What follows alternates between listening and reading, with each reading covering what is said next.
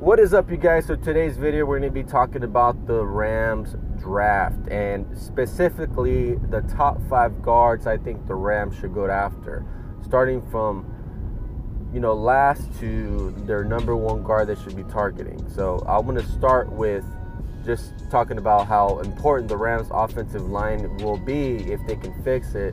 And basically, you won't have all this chatter with Jared Goff, with Todd Gurley, with Brandin Cooks. You know, we're we're thinking about just basically trading everybody to fix the Rams offensive line uh, offensive issues when it's basically just two positions. It's the center and guard position. The tackle position is pretty decent. The left, the right and left tackle position is good. Um, you, you still have Austin Corbett, who's on his rookie deal, who can he could be a pretty good strength pass, you know, run blocker, and he, has got decent pass protection skills. It's just the center and, and the uh, guard position that really led the Rams to have it a pretty mediocre year. Um, they were still in the hunt, but we still ended up nine and seven, and just one game above losing or above being like just basically even. So uh, the Rams really need to fix that offensive line, and they can fix that offensive line. Your wide receivers are, you know, top five in the league again. Your quarterback will be up there with some of the best. Jared Goff is a top ten quarterback. If, if you can give him protection, he's out there throwing darts. I think he has better accuracy than like 20 NFL quarterbacks in the league right now maybe he's not the most athletic, but he's got really good uh, accuracy and pretty decent arm strength. So if you give him a good offensive line, he's back to 2017, 2018 type of season. So that's what we're going to be talking about today is Rams offensive linemen, specifically the guards, my top five, and it's specifically my top five. I'll be making a Rams mock draft um, probably after the NFL Combine just because I want to see what their 40 time is going to be, what their their uh, what everybody else is talking about them. If it really like confirms what I think about some of these linemen. Some of them you might not think they're that good, and I'll put them ahead of other people. Some of them I think they'll have concerns and issues, so they'll probably um, drop in the draft. But mainly, it's uh, a pretty good analysis of what I think the Rams will value and who will they go after. And if they, if I maybe don't add somebody that I think you guys will put them number one, it's probably because I think they'll be gone by the time the Rams start picking. So um, there's two linemen, one from Georgia, one from Oregon, that I think will be gone. So I'm not going to talk about them because why am I going to talk about them if I know for sure the Rams are not going to pick them up? Because the Rams draft pretty late in the second round, and those guys are probably late first, early second. So let's get on with the video. And the first player that I'm going to be talking about is Netane Muti out of Fresno State. I think one of the uh, offensive linemen that I think were highly ranked in Pro Football Focus, but he does have injury concerns. He did, um, I think, hurt his Achilles or, or his uh, or his knee, and he was out for like the whole year basically. I think he, he didn't play his senior year at all and he only played um, he only played a few games because of his injury in 2018. So a lot of people don't really know much about him. So he's projected to go in the fifth to sixth round, and if anything, he'll probably be a um, undrafted free agent. So I think the Rams have a good chance of getting a guy, but he but he does have injury concerns. He's had he has been injured, but it's not it's something that if the Rams had a six rounder, why not go draft another lineman that you know was a first round, second round caliber player when he was healthy? You know, I mean, he's had a, a full season to to uh, heal, and um, he was a monster, man, for Fresno State.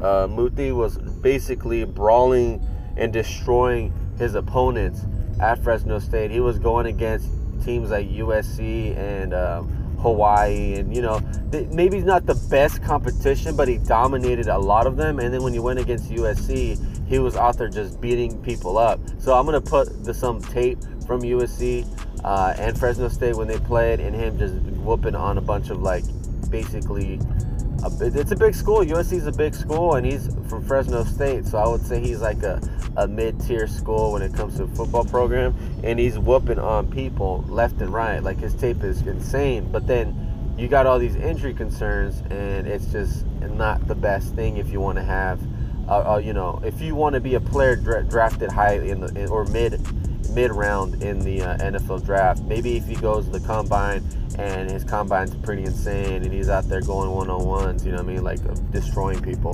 then yeah. But uh, main, mainly you'll have to wait and see what happens. But it, it, he's going to be a great quality guard that a lot of people are going to not look into maybe because of the injuries. But if you look at him, he's got fantastic run blocking ability. He's a run blocker. He is like Nelson, uh, what's that dude? Quenton Nelson esque type of brawler. Like he goes one on one with a guy and he will like light you up until the, the, the whistle's blown. And he's gonna keep blocking you, he'll pancake you, he'll he'll body slam you. He is that type of offensive line, and that's why I put him at my number five because I will still draft him if he's available in the fourth to fifth round. That's just a risk I'm willing to take because the upside is so damn high with this guy.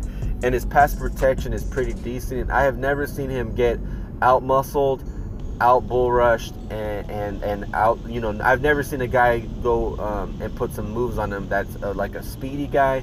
I've never seen him get beat. I've never seen anyone beat this man other than, you know, injuries. But the guy is a, a beast at 6'3, 307, um, a Samoan brawler and his projected 40 time is going to be 5.20 and like i'll put he's a little quenton nelson he's the samoan quenton nelson if you can just stay healthy now moving on to the next one is going to be i have so many damn guards that i, I really like the next one's going to be jonah jackson out of ohio state um, he is a decent-ish guard um, he's not going to be an elite guard. That's why they have him projected at three to around three to five.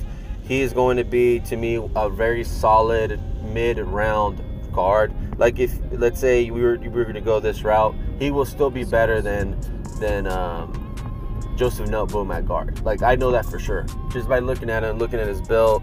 He's a power guy. Um, great run blocking skills, decent-ish pass blocking skills. Um, agility, not much agility. That's kind of why I put him at four, uh, mainly because of his 40 time. It's projected to be 5.60. He's not the fastest guy.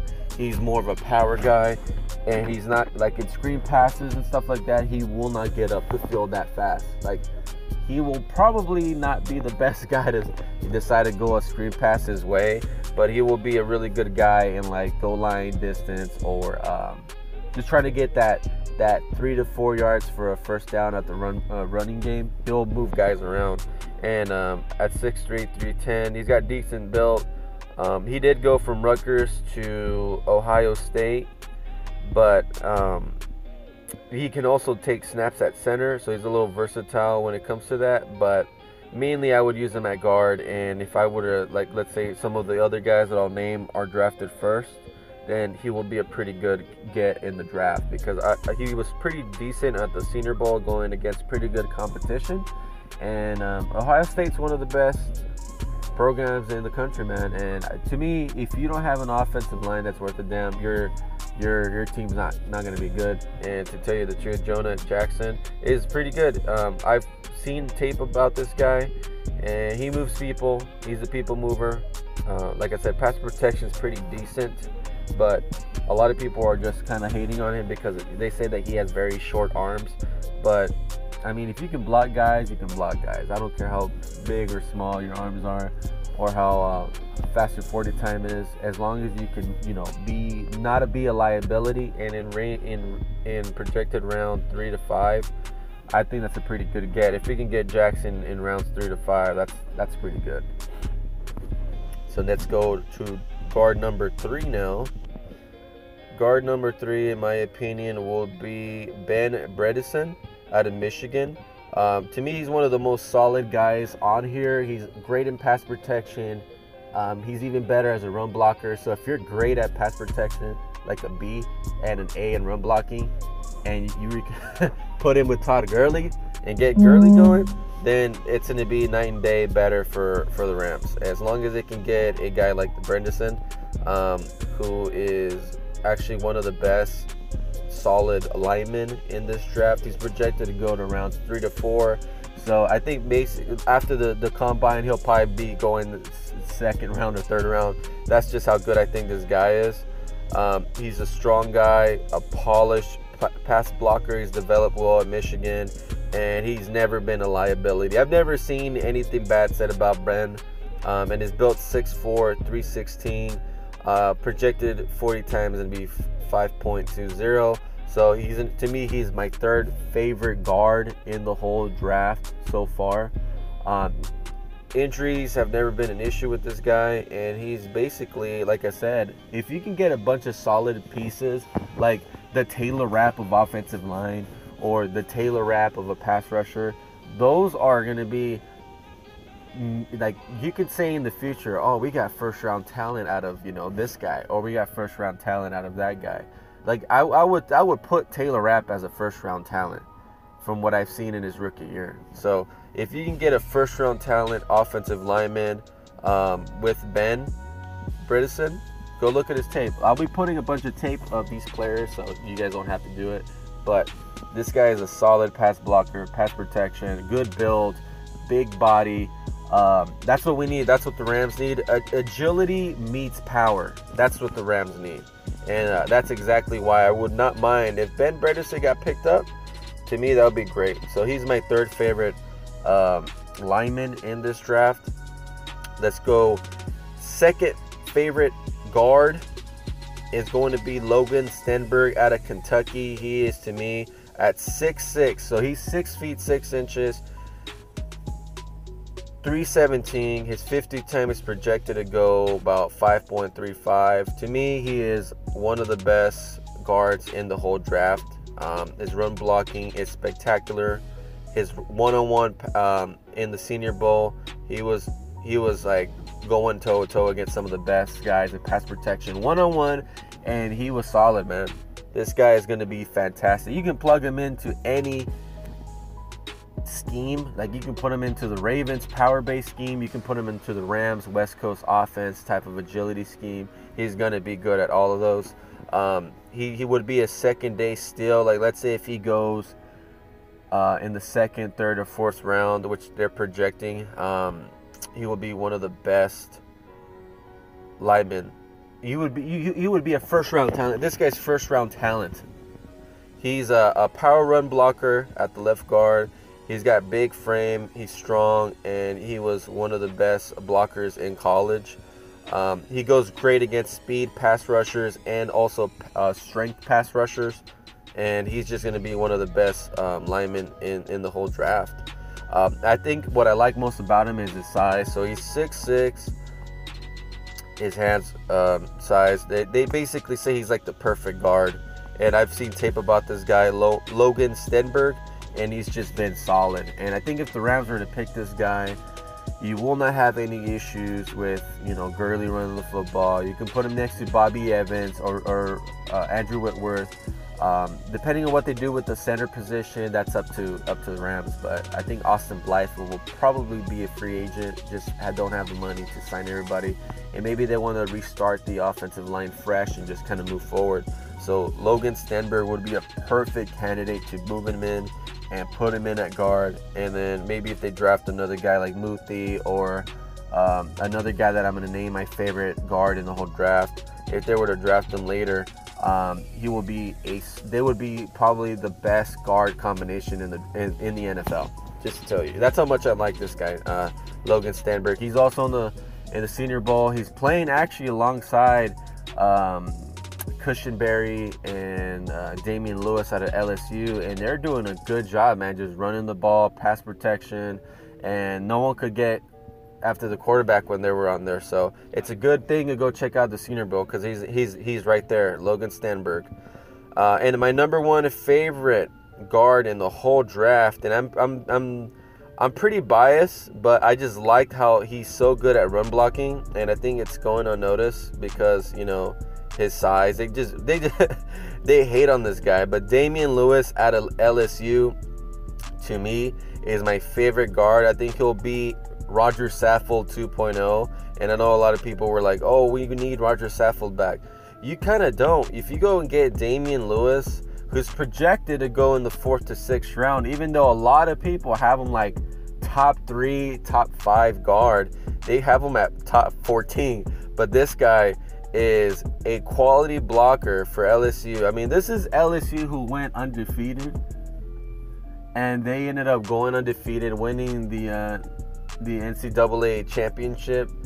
You can't do that without a top tier offensive lineman, and that's why I have Damien Lewis up there. I think the only hate the only hate I see them get is that Derrick Brown beat him in a matchup against Auburn. Like, and that was the first game of the season. He was rusty, and because of that, they, that's one of the things that they said. Oh, he's he's a good lineman, but he got beat by Derrick Brown, who's probably going to go in the first or second round. He got beat a couple of times in the first game. After that, they went undefeated. Um, he's great as a pass protect as pass protector.